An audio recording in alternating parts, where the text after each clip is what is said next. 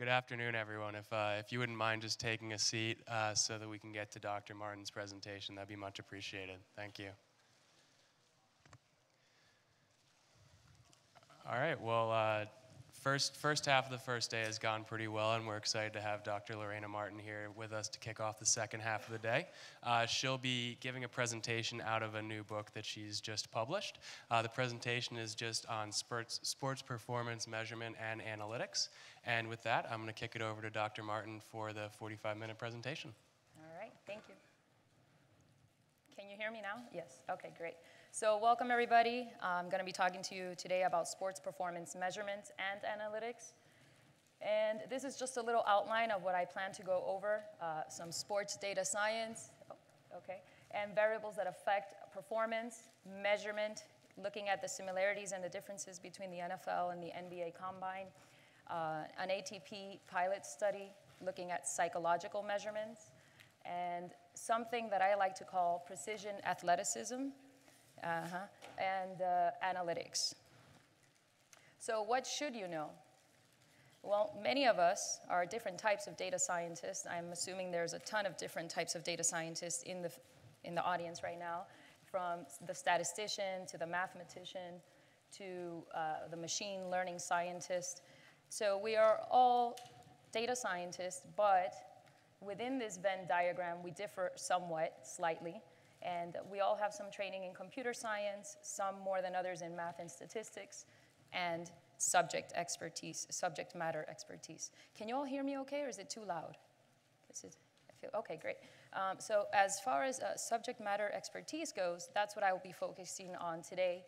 Um, so subject matter expertise, in this case, we're talking about professional sports. What is your sport of interest? Uh, I always tell my students that they should have, you know, not all, they, they say, I love all sports. Okay, well, at least focus on the top three that you really can immerse yourself in. Can you go to a bar and talk to the actual sports fan and communicate with them about this sport at that level? Not only just know the numbers. Okay, so I'm gonna delve a little bit into physiology and just on the general surface, because I feel that it is something that all data scientists working in sports or in the sports science field should have some sort of familiarity with. And uh, so just bear with me. I will not go too in, in depth into physiology, so do not get scared. Okay, so here we have two athletes. And I always like to ask, well, I just gave it away, didn't I? Two athletes. So which is the real athlete, is what I was going to say. And hopefully, I'm assuming that you all would have guessed the right answer that they're both athletes, right?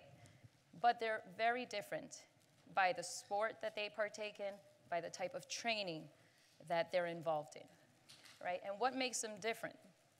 So there's muscle fiber type distribution, so that's somewhat genetic, as well as the type of training. And some of the major characteristics of different muscle fiber types most of you have heard of, oh, are you type 1 or type 2? Are you fast or slow twitch muscle, right? Uh, but typically, you don't, you're not aware that there are seven to eight different types of muscle fibers. In fact, some of them are hybrids, but for simplification purposes, we've categorized them into really two. And some that study it at, at a higher level, a more specific level, we do type 1, type 2A, type 2X. But in reality, overall, they're known as type 1 and type 2. Um, at the microscopic level, like I mentioned earlier, there's seven to eight different muscle fiber types um, of distribution. The thing that I want to focus on here, I guess I don't have, oh, I do have a pointer. Let me see here. Oh, no pointer. Okay, so if you could um, address your attention to fatigue resistance on the first column of the characteristic. If you look at fatigue resistance, and you actually look at type 1, you see that they are high on fatigue resistance. What does this mean? This means that this individual can go for a longer length of time without getting tired. However, with that, they sacrifice power and force output. Okay? so if you look at the type 2 fibers and um, force production and power output, you can see that they are low on fatigue resistance, meaning they're going to fatigue much quicker, at a much quicker rate, but they're going to be able to produce explosive, powerful movements. Okay, so this is somewhat genetically predetermined, so, but this is not meant to say now you can just exclude everybody that doesn't have type 2 fibers from being a track athlete. That's not what this is for.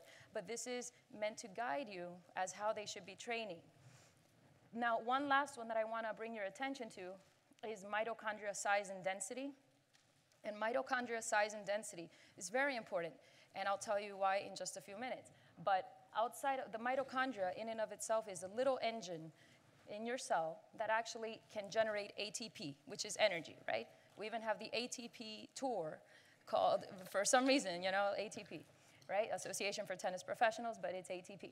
So the mitochondria is the one that actually can generate this ATP, but it utilizes oxygen. And here you have heard of, I'm sure you've all heard of aerobic exercise or aerobic training and anaerobic training, right?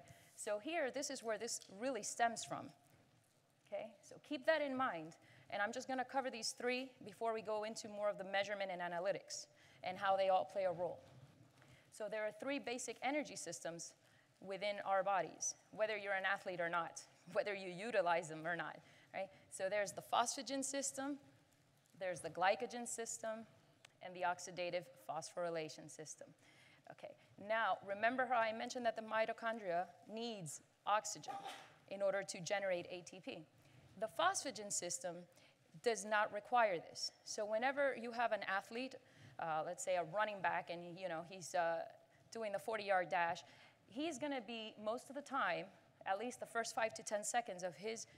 Hopefully, he would do that under the you know, time. But yeah, exactly. First fight is the ATP PCR system, is what we call it. So I say, wow, he has a heck of a ATP PCR system. That's how I like to look at it.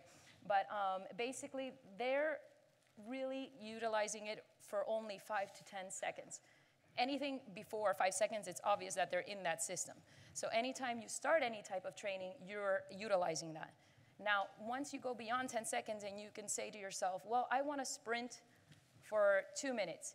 You may think you're sprinting and you're going all out for two minutes, but in reality, after the first five to 10 seconds, you have diminished your speed, your capacity for maximum power, and you're dipping into your fast glycolysis and slowly but surely going into oxidative system. Um, your oxidative system is typically more fat burning, so it also has to do with nutrition.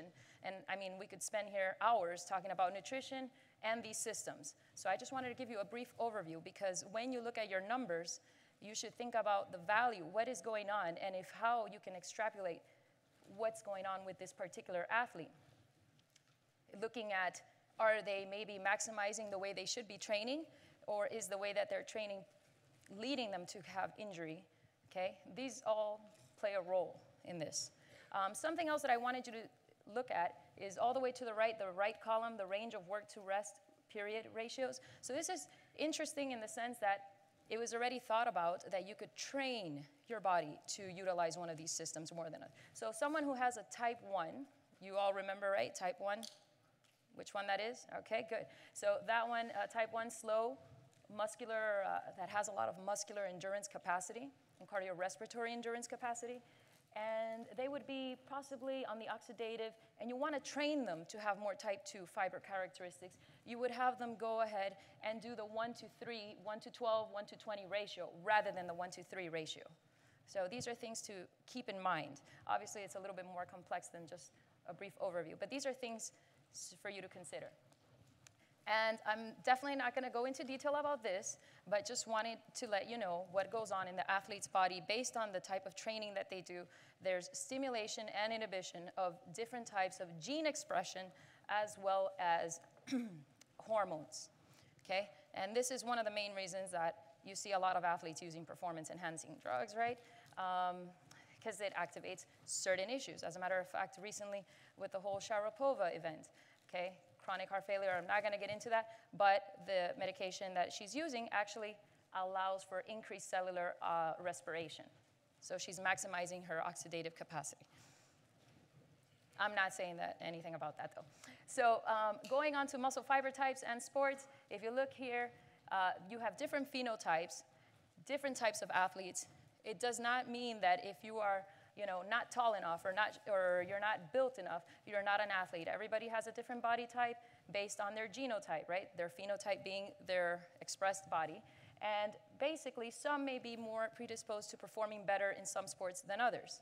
Okay, so with this, keeping this thought in mind, if you translate it over to sports, you realize that between different sports, you should treat them differently, how they get assessed as well as how they train.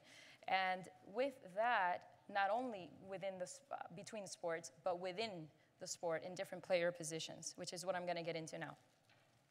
So I'm just going to take a, a, a, quick second just to look at uh, the differences and the similarities between the NBA draft combine and the NFL combine. And uh, some of this is, is taken from my book.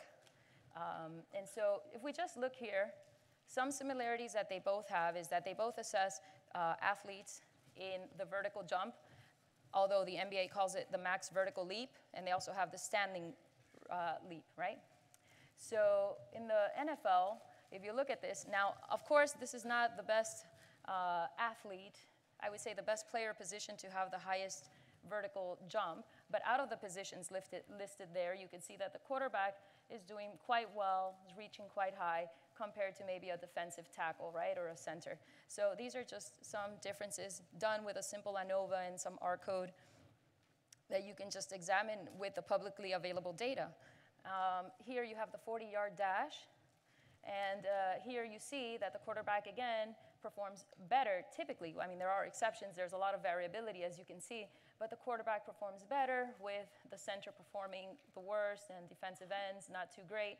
Um, of course, we're not including the running back in here or the wide receiver, I mean, but these are just between these player positions. As for the broad jump, this is another test. We utilize that in physiology to assess anaerobic power. now, it's not utilized, this test, it's interesting because it's not utilized in the NBA combine, and I'll talk about that a little bit later.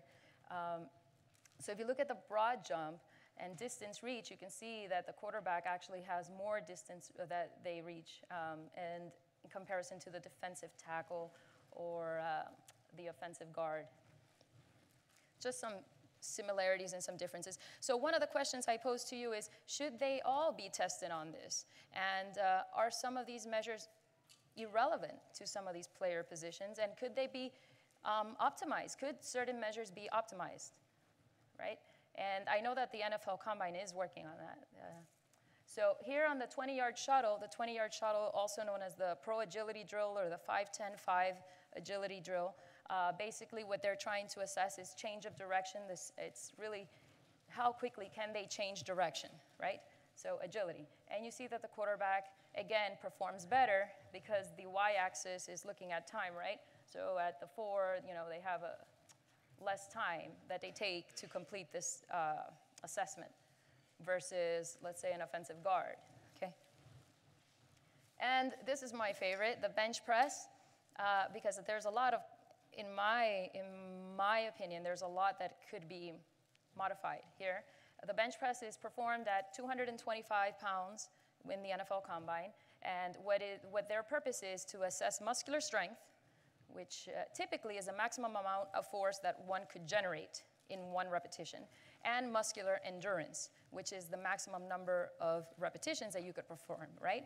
And so that's what they're trying to get at here. And as you can see, the center performs extremely well, having some between 35 and 40 reps at 225 pounds, versus the quarterback, very, you know, poor in comparison. So maybe you wouldn't even want to assess your quarterback in this. Maybe they would be more prone to injury. I'm not going to say that that's the case. I'm just throwing out some questions to you. Okay? Um, if you want to know more details about differences among player positions in the NFL, uh, these are some pages from my book, and then the ANOVA. I just ran a simple ANOVA, assuming normality there, and then looking at the Tukey post hocks, um, you could see some differences in the P adjusted values on different assessments. But moving on to the NBA, NBA draft, if you look at the max vertical leap, which is um, the same basically as the, the vertical jump, you can see that, for instance, the shooting guard and the point guard are up there, and the centers and power forwards are have a tendency to um, not jump as high. And it's kind of interesting because they're some of the tallest, right? Some of the tallest don't jump as high as some of the, some of the shortest, right? So that's kind of an interesting relationship right there. But they are comparable to the NFL's max vertical leap because some of them were reaching those numbers. If you look at the lane agility drill, which is interesting to see because they don't um, necessarily use the same agility drills as the NFL, but uh, you can see here that uh, one of the ones that uh, performs not the best, I would say, is the power forward, but some of the best, again, the shooting guard and the, and the point guard, uh, definitely they need to have good um, values of agility. And if not, then we could look at something else, but I will get to that in a little bit. So this is where I want you to bring your attention to is the bench press is it's really interesting in the sense that they're established at 185 pounds, right? And uh, what you see here is that they perform a lot lower repetition, number of repetitions in comparison to the NFL. So if I just take you back for the to the NFL, oh, right there, you can see that they're performing 35 up to 40, and uh, you come back down here, they're going up to 5, 10, or 15 repetitions maximum at 185. So at a lot lower load. And what we consider load, when I say load, I'm not talking about the wearable technology load. I'm talking about resistance weight that you're carrying.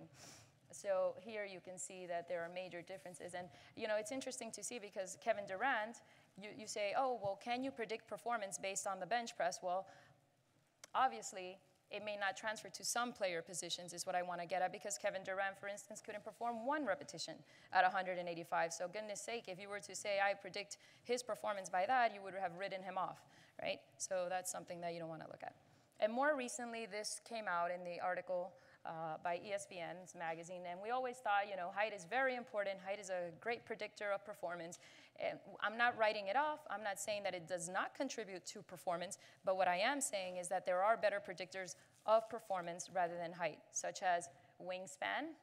And although maybe to be a presidential candidate, you don't necessarily need good hand size, but um, in basketball, it has been shown that hand size is important and is a better predictor of performance uh, for basketball as well as football, but not for presidential candidacy. Okay. Okay. With that, um, I developed along with one of my with my colleague, um, Dr. Miller, and we developed a measurement model for sports. Obviously, uh, there's the equation portion of it, but this, these are variables that definitely would contribute to performance and have been shown by the literature to contribute to performance. All the physical variables include the major five uh, that were known before, which included muscular strength, muscular power, muscular endurance, and flexibility. Um, added to some of the other ones that were based before, including reaction time, coordination, body composition. What, I, what we added there was sport-specific skills. Something that I teach my students at Northwestern is one of the important things that is really discounted a lot of times is the technicality. I see this being assessed much more in soccer than some other sports. Um, I do see now um, in the combine and the NBA draft that they have, you know, certain specific position skills but I think that is very important. Uh, as for physiological variables, lactate threshold, right, which is a good determinant of how much you can push the athlete before they start to reduce capacity, not because they want to, because their body cannot do it anymore, right? There's a high amount of lactate buildup, lactic buildup. And you have resting heart rate, you have blood pressure, VO2 max. I'm not going to go through all of them in particular, but for instance, for instance, glucose and insulin, in the sense, they're not going to, most of them, because there are some that, are, that have diabetes, but basically what you're looking at is insulin sensitivity. Do they have previous injuries? Telomere length, methylome, that is something that I've been working on for quite a while. With the telomere length, they're good indicators of biological aging. So that's just something to keep in mind. That is something new that I've picked up at the Salk. Um, the psychological variables, there's many of them.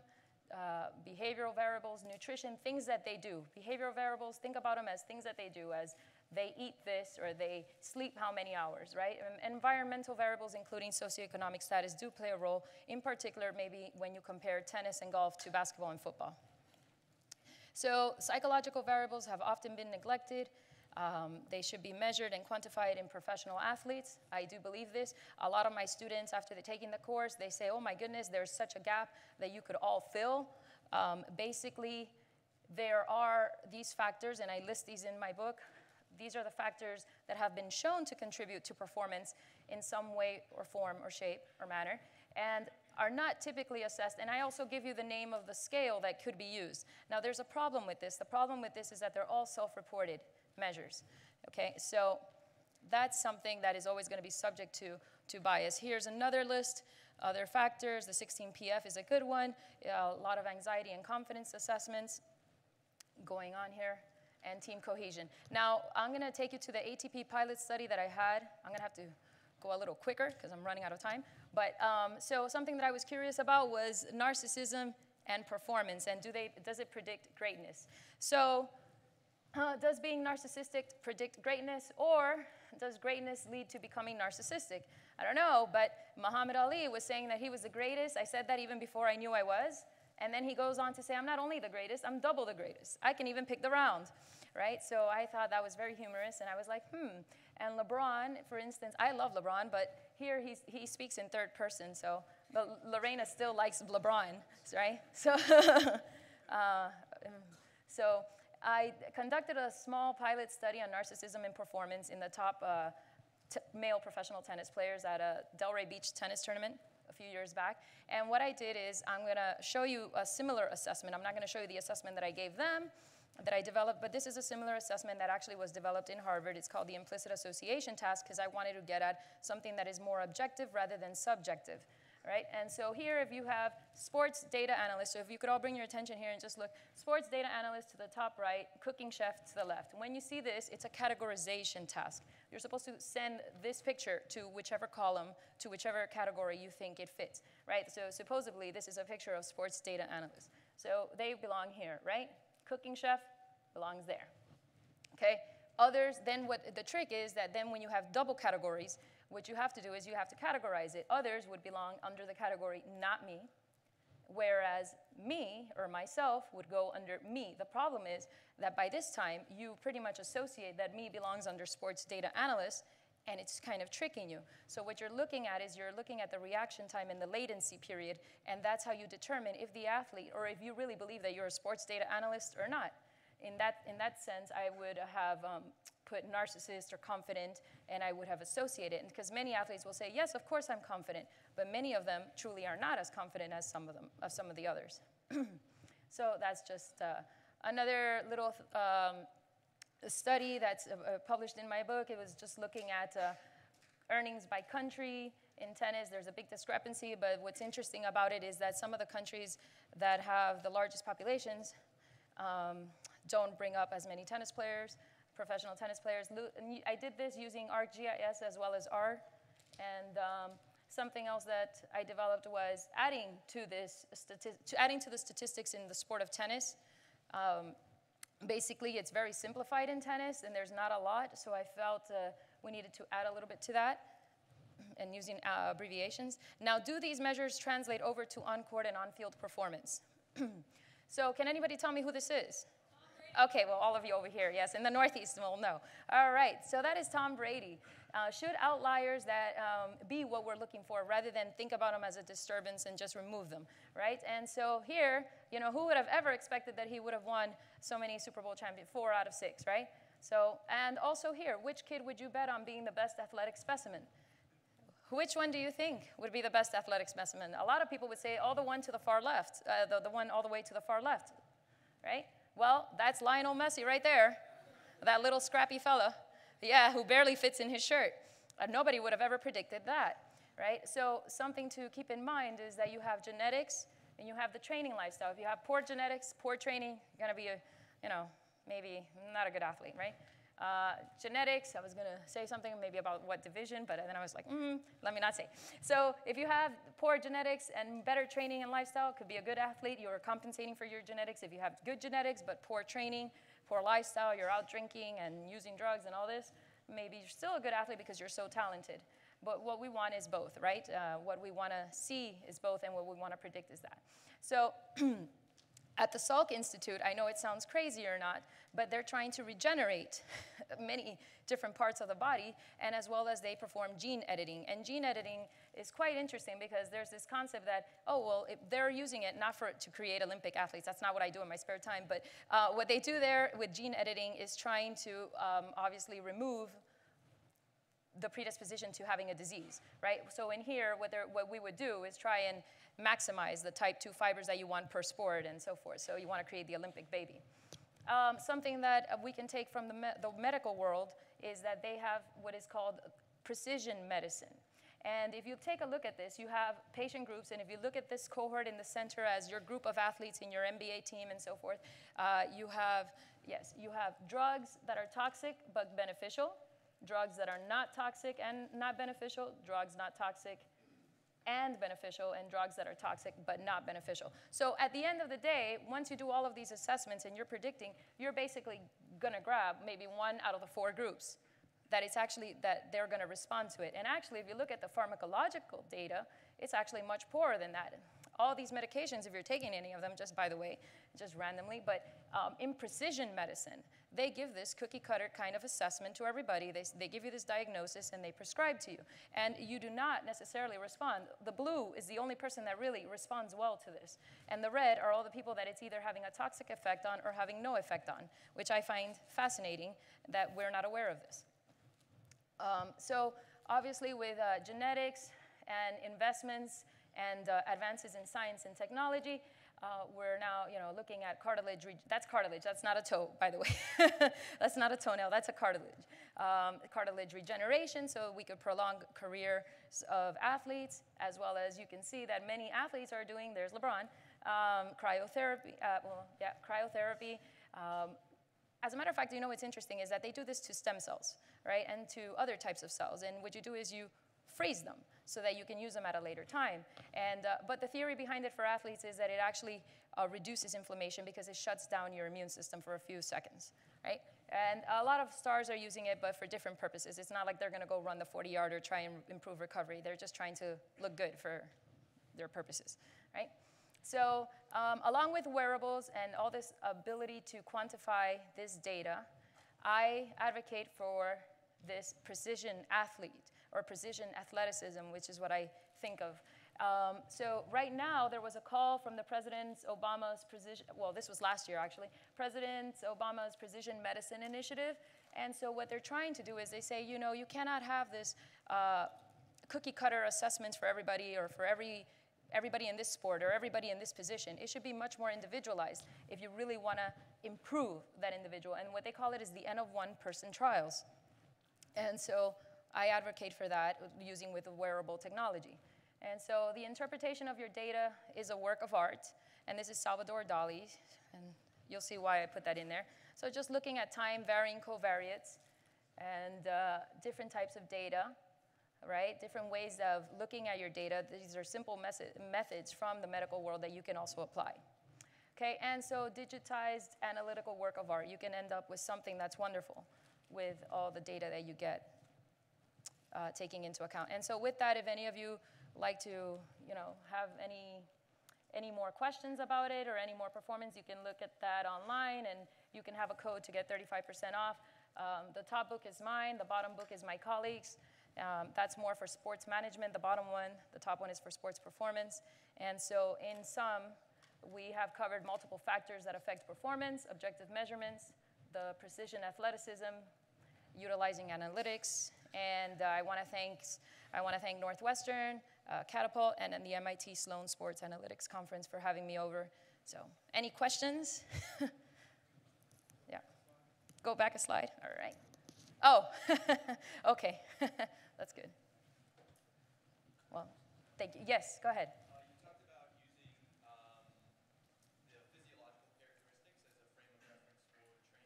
Mm-hmm. Um, is it more about sort of uh, amplifying uh, the, things, the strengths of an athlete, or trying to sort of make up for their weaknesses? So how do you make decisions about Okay, I would definitely, I mean, I'm just to give it out there to you, but I would definitely use it in the form of preventing injuries or seeing what they may be predisposed to. I would also use it in the form of seeing where their baseline is and seeing how they're responding to different types of training. That's how I would uh, probably use, utilize that. Any other questions in the meantime? Yes. as far as like the psychological and uh, behavioral um, aspects of the evaluation? What extent do you think those can be modified? To what extent can they be modified? Well, that's a great question. Um, so he asked, uh, to what extent do you think that psychological variables can be trained or modified? I definitely do see that they can be trained and modified. I, I did about seven years of training, and two years were in practicum, dealing and consulting with uh, clients and uh, or patients at that time. And but even if you look at LeBron when he first came into the Miami Heat, it was a much he had a much different demeanor and perspective in the way that he spoke and, and you know was with his teammates. And then by the time that he got out of that, which I think Dwyane Wade did a good job of mentoring, that's just my opinion. And I'm not saying that he goes to a therapist or anything, but I just I have seen him mature, and I see this with a lot of athletes. So I definitely think that there is room for improvement. I think they have to want to acknowledge, and they have to want to immerse themselves in change. But some of those things are more difficult to change than others. That's the other point. Yes. So, so kind of following with that, so in the field of sports psychology, this is like what they what they deal, deal with. But I like the idea that you touched on that when we're thinking in terms of improving performance for athletes. So, like I, I think it's interesting if we're thinking about let's take confidence, and there's like a disposition. Someone can be typically um, a confident individual, but given a situation that may change, and confidence is really influenced um, greatly by your past performance. So you can have a state confidence that's very low in one instance, and it can be high in another instance. And then you've got these other interaction um, uh, occurrences, like if you say narcissism and control orientation. So given like the complexity of the conversation of sports psychology, how do you feel that it could fit into this big data um, assessment, especially when you um, consider the element of self uh,